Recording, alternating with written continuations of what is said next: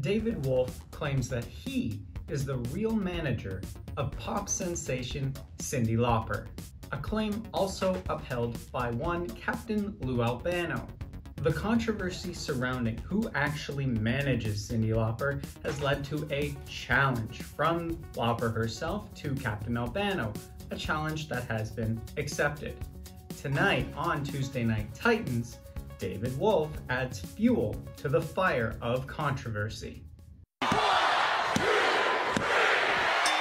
Thank you for tuning in to another special episode of Tyler Vance Rants. I am your host, Tyler Vance himself. It is July 3rd, 1984. Last week, Mr. Wonderful's day off of relaxation was ruined by ineptitude. Jesse the Body Ventura outlined his goals of becoming the next WWF World Heavyweight Champion, and the Polish power Ivan Putski gave us a little taste of his homeland. As usual by now, Vince McMahon and Lord Alfred Hayes are the hosts of Tuesday Night Titans, and they start the episode off by taking us down memory lane. On January 23rd, 1984, as you may or may not know, Hulk Hogan defeated the Iron Sheik to become the current WWF World Heavyweight Champion. I did a special episode about that whole event, which you should check out, so I will link it in the description down below. After reliving the footage of that momentous moment, we are brought back to the present day, where Mean Gene Okerlund is interviewing Hulk Hogan. And all Mean Gene wants to know is what the Hulkster's thoughts are on Jesse Ventura's last week's goals of becoming the next WWF World Heavyweight Champion. All Hulk Hogan has to say in regards to that is it is only a matter of time before the two of them meet each other in the ring head to head. To finish the interview off, Hulk Hogan compares the feeling that Mean Gene got when he first proposed to his wife to the love affair that he currently has with us, the WWF fans. I know you're a rambling man, and all your life you looked around, and finally you found that special woman, man. And when I saw the people of the Twin Cities, it was an instant love affair. Gross. We're then treated to a match joined in progress between Hulk Hogan himself and Dr. D, David Schultz. The thing about this match is that Hulk Hogan is already bleeding so profusely that they can't quite possibly show that on primetime TV, so all we get to see instead is a big blue box censoring it. See, don't worry, modern day wrestling fans. Even back in the 80s, Vince McMahon was making questionable decisions on his programming. Dr. Schultz then hits Hulk Hogan from the second rope with his diving elbow finisher, scoring a near fall. But the Hulkster fights back, going to town on the Doctor, including biting him in the face. And now he's biting the Doctor! Disqualification? Hello? Disqualification? Oh, how silly of me. Of course the referee isn't going to disqualify Hulk Hogan. Hulkamania is running wild, brother! Since the match is allowed to continue, Hulk Hogan drops his own elbow on Dr. D. David Schultz, but instead of going for the full three count, stops the count at two, deciding to deliver more punishment to the doctor. What did he ever do to you, Hulk? More punishment is meted out on the doctor, eventually leading to Hulk Hogan dropping his atomic leg drop on Dr. Schultz, but once again interrupts the referee's count to dish out even more punishment. What are you doing, Hulk Hogan? The match goes outside of the ring, and Dr. D even gets his head smashed into the ring post and begins to bleed as well.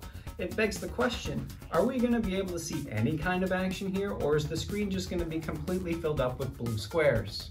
A chair is the next item on Hulk Hogan's list of objects that aren't allowed to be used in a wrestling match that, you guessed it, he uses against Dr. D. David Schultz. Open, wide open. Hulk now with a chair. Oh! I'm thinking that ECW honored the rules of professional wrestling more than this guy. Once finally back in the ring, Hulk Hogan does as much damage as he can to the gushing wound that is now on Dr. D. David Schultz's head. Unfortunately for the Hulkster, he experiences a minor setback, allowing the doctor to go up to the top rope in an attempt to hit his diving elbow finisher. But the doctor misses, and moments later, Hulk Hogan comes away with the 1-2-3 following a clothesline. And I think Schultz got what he deserved. Excuse me, but what are you the lord of again? Kissing. But always bear in mind Hogan is a fantastically scientific wrestler also. The first guest to be interviewed on Tuesday Night Titans is a fellow Canadian, and while you may know him simply as The Butcher, I know him as Paul Vachon. According to Monsieur Vachon, he can sing really well, and so Vince McMahon asked him to demonstrate his skill. Conveniently for the Frenchman, there is a live band nearby, so he heads over.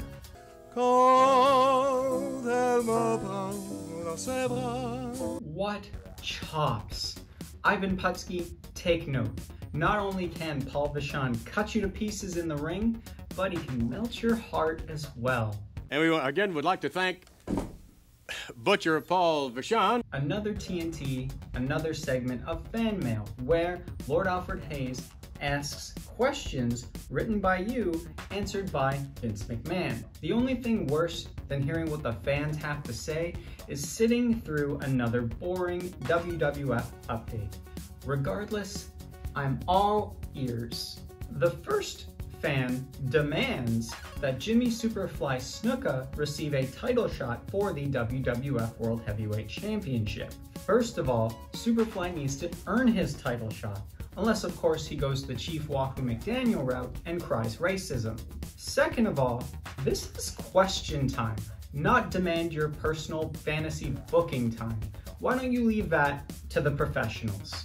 The second fan asks whether or not a wrestler known as Red Bastien is still active.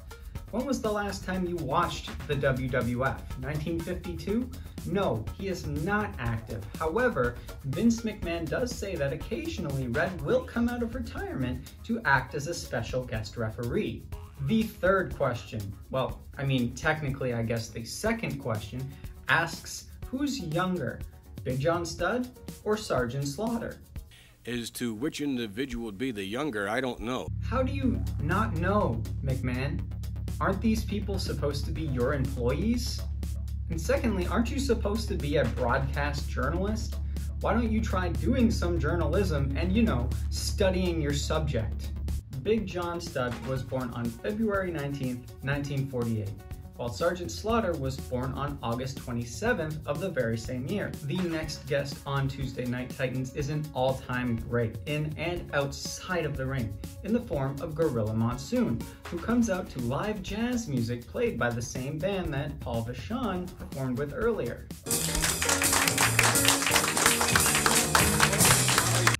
Apparently, Gorilla Monsoon was the very first amateur wrestling American allowed to tour the country of Russia way back in 1959. You have to remember, even in 1984, the Cold War between East and West was still going very strong. So the fact that an American was allowed to tour the country of the Soviet Union's biggest member is something spectacular. Even the Russians respected Gorilla. Knowing of his storied amateur career, Vince McMahon then asked Gorilla Monsoon when he decided to turn pro.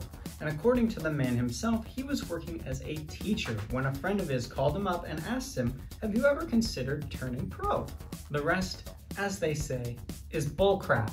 I've lived my entire life as a pro wrestling fan, yet not one of my friends has ever called me up to ask, Hey Tyler, you want a career change? We're then shown footage of a match from 1977 between Gorilla Monsoon himself and his longtime rival in Baron Mikel Scicluna.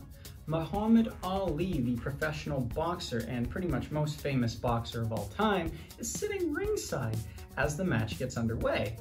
The Baron attacks Monsoon once the match begins from behind and almost immediately gets sent outside of the ring, prompting Muhammad Ali to get involved for some reason while the Baron gets counted out.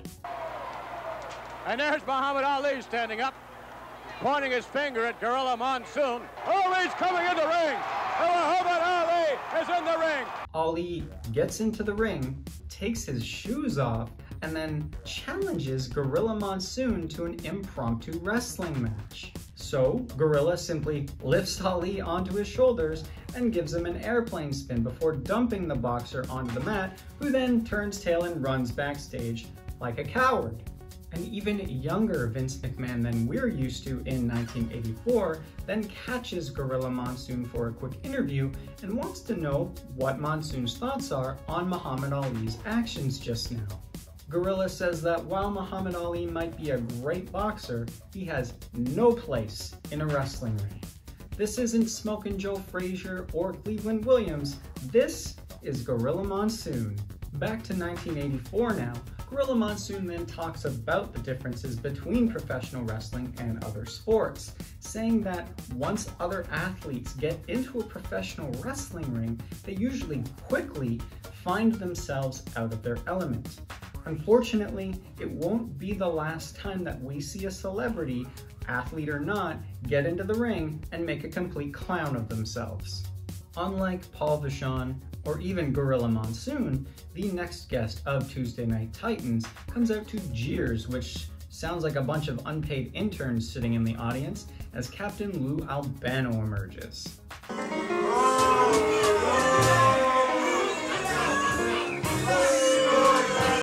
Wants to know how being so unpopular with the loser fans feels.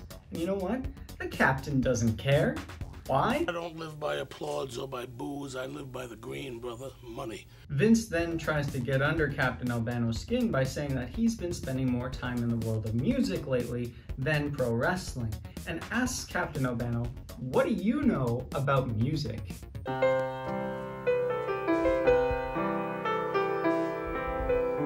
Eat your shorts, McMahon. See, if you had taken my earlier advice and done your damn research, you wouldn't look like such an idiot right now. Captain Lou Albano, that was beautiful. The attention is then turned onto Cyndi Lauper, and Vince McMahon wants to know, straight from Captain Albano himself, how much truth there is to the fact that he says he is Cyndi Lauper's actual manager. Take a moment and pretend that you're Cyndi Lauper. Your band, Blue Angel, is nothing more than a distant memory, so you're forced to work in seedy restaurants and sing at disgusting bars, hoping and praying that someone out there will notice you. Thankfully, one cold, dark, rainy night after you've just finished a set at some place known simply as the Pulsing Pustule, in he walks, Captain Lou Albano. And then the next thing you know, you're releasing She's So Unusual and your whole world changes. On the other hand, we have David Wolff, who claims that no, he is the real manager of Cyndi Lauper, and he comes out to the TNT set wearing sunglasses indoors for some reason. Yeah, okay, like I'm gonna take the word of some seedy, untrustworthy cab driver. David Wolff tells Vince McMahon that Captain Lou Albano has nothing to do with Cyndi Lauper's career, other than play a bit part in some of her music videos. Going further, David Wolff says that Captain Lou Albano has taken this so far that he went to Portrait Records' main headquarters and has begun demanding royalties. Okay, pal, whatever you say. Realizing that David Wolff's accusations are just as outlandish as his fashion sense, Vince McMahon then changes gears and asks what he and Cyndi Lauper hope to accomplish with the recent challenge outlined by the pop star herself. You see, Cyndi Lauper has challenged Captain Lou Albano to a wrestling match, but that match will not be between the two of them personally. Instead, they've both gone out and picked a representative. While Cyndi Lauper has chosen Wendi Richter to be her representative, Captain Lou Albano has chosen current WWF Women's Champion, the Fabulous Moolah. Moolah means money, so that's where I'm placing all my bets, folks.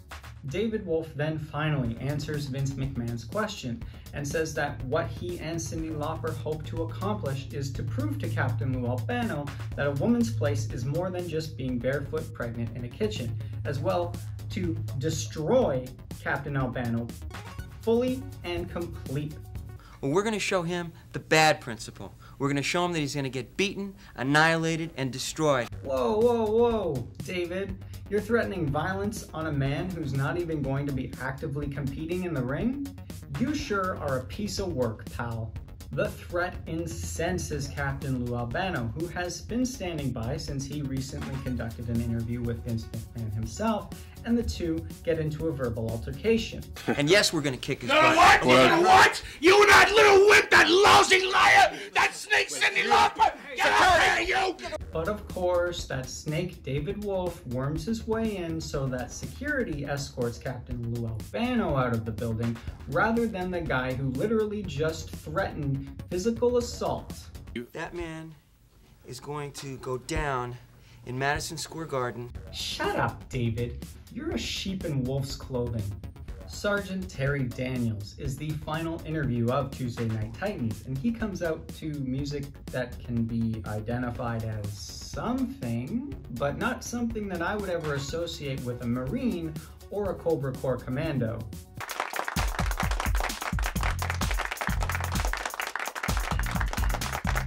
What does being the first conscript into the Cobra Corps mean to Sergeant Terry Daniels? A lot, apparently. Lord, how would you assess the capabilities of Terry Daniels? Um, I think he has a wonderful future in front of him, and what an honor to be inducted into the Cobra Corps. Ugh, here comes Lord Buttkisser again. According to Sergeant Daniels, he and Sergeant Slaughter look out for each other, and their trust for one another is absolute. We're then shown footage of Sergeant Slaughter visiting the Statue of Liberty and talking to random citizens, all while carrying Old Glory herself, the American flag. The point of the entire video is to show just how awesome the United States is, as Sergeant Slaughter leads a bunch of kids through the Pledge of Allegiance.